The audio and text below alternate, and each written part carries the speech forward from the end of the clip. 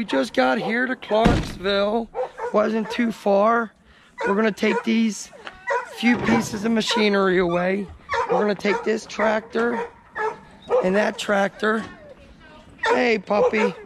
Do you have any objections on being with my YouTube fans? Do you have any objections for my YouTube fans? No. Okay, this young lady's hiring us to get rid of those tractors. Yes, we're gonna do it in the famous five minutes. Oh, before I forget, the last job, it took us less than an hour to get the hot tub done. So we're gonna take care of that and that. There's Jimmy Electric and the famous five. See you in a moment. We're all finished up here, Clarksville. We were not able to do it in five minutes. Unfortunately, it took us about an hour.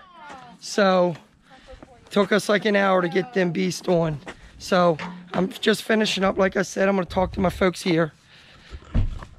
What would you say? How did Attic Sweepers do with your uh, junk removal?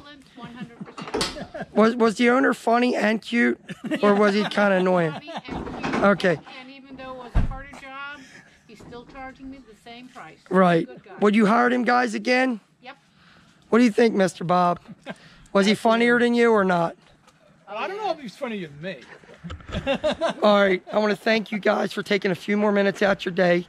We service all of Howard County, Clarksville, Ellicott City, Columbia, Elkridge, you name it, we go there. We do old appliances, old farm equipment, lawn equipment, whatever you need, we take. Again, thank you for tuning in. I'm Bill. Jimmy, do you have anything to say? I'm tired. He's tired. He, he worked in the hot box. Anyway, thanks for taking a few minutes out of your day. If you need any junk removal, demolition, call Bill with Attic Sweepers Hauling.